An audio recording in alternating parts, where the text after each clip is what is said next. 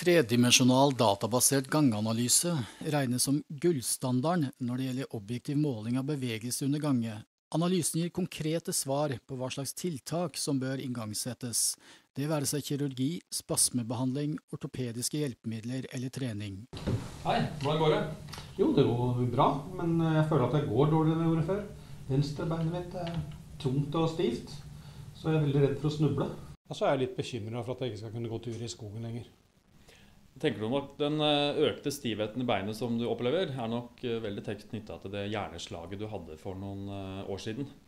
Og Det kan nok være en kombinasjon av både spastisitet, men også da redusert muskelstyrke i låret som gjør at du har de problemene. Så det jeg tenker jeg gjør, er at jeg henviser deg til bevegelseslaboratoriet på Sunnaas sykehus, hvor de da utfører en sånn type ganganalyse. Tredimensjonal databasert ganganalyse brukes hovedsakelig på nevrologiske pasienter ved endring eller forverring av gangfunksjon. Det spesialutstyrte bevegelseslaboratoriet inneholder to digitale videokameraer, åtte infrarøde kameraer og to kraftplater. Dette er en helhetlig og objektiv undersøkelse av kroppens bevegelser.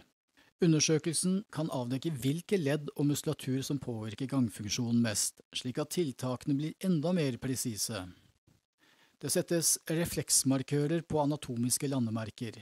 Dette bidrar til å gi mye og god informasjon om bevegelsene av bekken og ben i alle plan, og vi får informasjon om kreftene som virker under gange. Dataene analyseres av et tverrfaglig team som gjør en grundig og helhetlig vurdering. Analysen fra det tverrfaglige teamet sendes til den som har henvist. Konklusjonen er kort og presis, og viser i dette tilfellet at det er to strukturer som peker seg ut som hovedproblemene.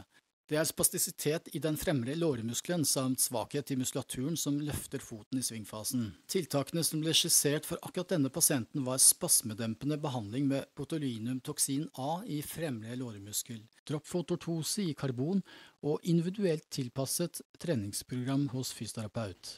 Tredimensjonal databasert ganganalyse av voksne personer utføres på bevegelseslaboratoriet på Sunnaas sykehus.